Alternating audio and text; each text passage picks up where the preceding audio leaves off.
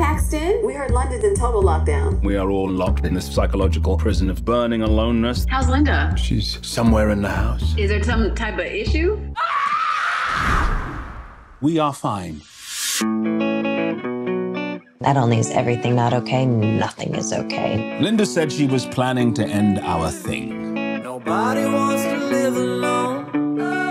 For two weeks, we are locked together here. You know, you think I'm so happy and normal. No, I, would never accuse you of being happy and normal. Because I'm not! shaky ground. I've been furloughed. Now there is literally zero purpose to my life. I'm going to get provisions. We need milk, bread,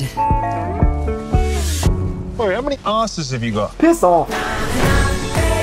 The nice people that I fired, they were fired because of me. It's not about the virus, it's about who I am and what I do for a living. You fired them well. Thank you. Is that a glass of wine? Yes, yeah, it is. We have a situation, Paxton. All the major department stores are closing. They want everything out in the next four days. We have a problem. At Harrods, we have $4 million worth of jewelry. Someone's gonna have to pack the valuables up. I believe you are a man who can be trusted. Yeah, I am.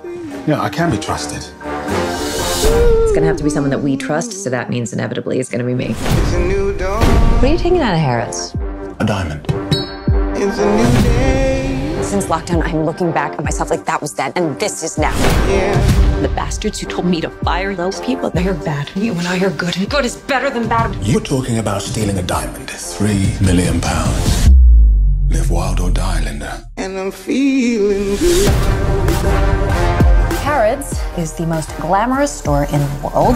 I know all the security guards. I know the security systems. I just need to get the gentleman's name. His name? Edgar Allan Poe. Edgar Allan Poe! Wow! What can go wrong? Lock down one last ride. O Lord who art in heaven, Oh my god, oh my god! forgive us the sin of deception. Edgar Allan Poe. Mr. Edgar Allan Poe, please report to security. It's a new dawn. It's a new day. Who'd have thought a month ago we'd be doing this? Not me. And I'm feeling good.